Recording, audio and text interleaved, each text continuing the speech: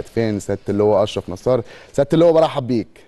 أهلا أهلا محمود ازي حضرتك؟ أخبار حضرتك إيه؟ دايما منورنا. حضرتك طيب ومتألق ومنور دايما الشاشة. الله يخلي حضرتك بنور حضرتك. يعني كنت لسه بتكلم عن استعدادات فريق البنك الأهلي مباراه فاركو. مباراة تكون قوية بكرة بكل تأكيد.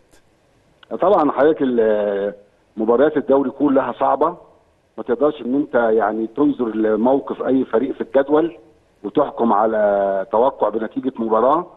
وبالذات إن إحنا موقفنا في الجدول يعني لسه محتاجين شغل كتير جدا عشان نقدر نتقدم في الترتيب ونبعد عن المنطقة الخطرة. آه، الكابتن طارق يعني آه، استعدوا كويس للمباراة. آه، إن شاء الله داخلين في معسكر من النهارده. وبكرة إن شاء الله بإذن الله المباراة. ونتمنى يكون التوفيق حالفنا ونضيف ثلاث نقط لرصيدنا يبعدونا شوية عن المنطقة اللي إحنا فيها دلوقتي.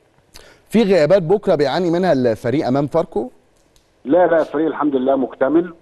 والكابتن طارق طبعا هو في الآخر اللي هيحدد بقى ال- القايمة اللي هياخد بيها المباراة بإذن الله. كان في جلسات من مجلس الإدارة مع اللاعبين ومع الجهاز الفني في الفترة الأخيرة إن هم يحاولوا أكيد يحسنوا الوضع خاصة ان الفريق يعني في المركز ال 15 وعنده لاعبين على فكرة سياده اللواء على أعلى مستوى في الفريق. لا طبعا إحنا يا أستاذ محمود ال- الجلسات مع الجهاز الفني ومجلس الإدارة مستمرة يعني ما لهاش آه، ارتباط بالمباراة أو غير مباراة.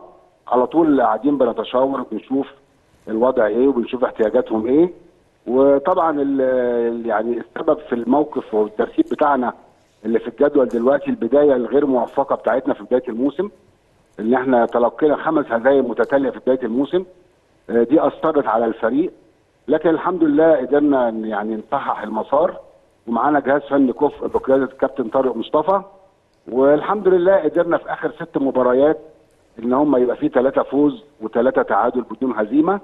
ونتمنى إن شاء الله وندعو الله إن إحنا يعني نستمر بقى في مسلسل ال- الفوز. وإن شاء الله نبتعد عن المنطقة الخطرة في الجدول. وزي ما حضرتك ذكرت النتائج اتحسنت مع بعد يناير خاصة بعد التدعيمات القوية اللي عملها مجلس الإدارة. آه الحمد لله. تواجد طبعا الكابتن طارق مصطفى طبعا. آه آخر ست مباريات الحمد لله ثلاثة فوز وثلاثة تعادل وقدرنا يعني نحصد آه 12 نقطة إن شاء الله مستمرين في التحسن وفي الأداء وفي النتائج بإذن الله. أسامة فيصل وكلام كتير عن بعض العروض أبرزها من النادي الأهلي مدى صحة هذا الخبر لا لسه يعني ما فيش حاجة خالص جات لنا سواء حتى رسمي أو ودي. لسه بدري قوي إحنا لسه يا دوبك مخلصين الانتقالات الشتوية.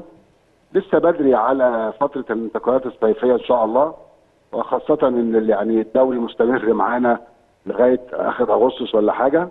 آه، لكن ما فيش أي حاجة وردت بخصوص. لسه عقده ممتد أسامة مع فريق البنك الأهلي طبعا.